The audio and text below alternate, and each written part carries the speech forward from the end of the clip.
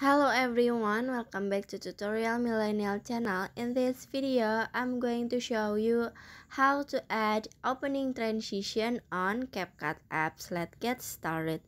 First, after you add video that you want to edit, I wanna I wanna show you this is the opening original video. In here, I wanna add yeah this opening transition on this video. So you just click on the clip and then click animation.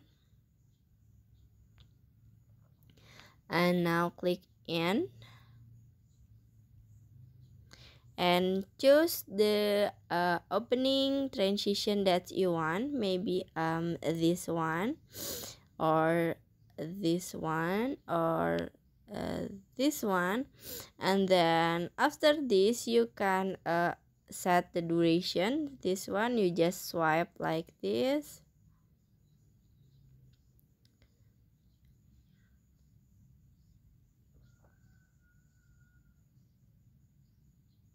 And then after this you can click check icon in here.